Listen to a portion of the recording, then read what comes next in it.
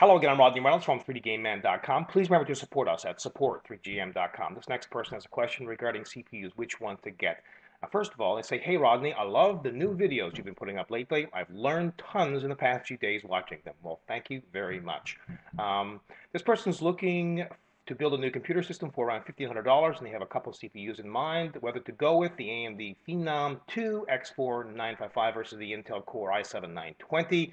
Um, it would seem at first glance that the AMD CPU at 3.2 gigahertz uh, would be faster than the 2.66 uh, gigahertz Intel CPU.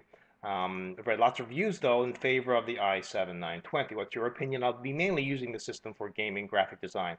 Well, I have an Intel Core i7-920 CPU set up myself along with an X58 SLI motherboard and a couple of NVIDIA uh, GTX uh, two 95 video cards from EVGA, and that setup works perfectly for me. I think the main reason why a lot of gamers and enthusiasts go with the Intel setup right now is they have really good motherboards to support that CPU. A lot of the X58 motherboards are amazing.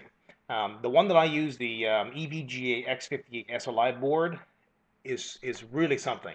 Uh, as a matter of fact, if you are not into overclocking, um, EVGA makes it extremely easy for you to overclock the um, Intel Core i7-920 CPU. They've got um, a post in their forum about how to configure the BIOS so you can set it up um, to overclock it to around 4 gigahertz. So anybody can do it. So if you're a little bit concerned about overclocking your CPU, uh, don't be. And this is another reason why a lot of people love the uh, Intel uh, Core i7-920 is that you can overclock it. I have mine overclocked to 4 gigahertz. If you want to look at my computer system, you can visit www.rodsrig.com. I hope this answers your question and keep your questions coming.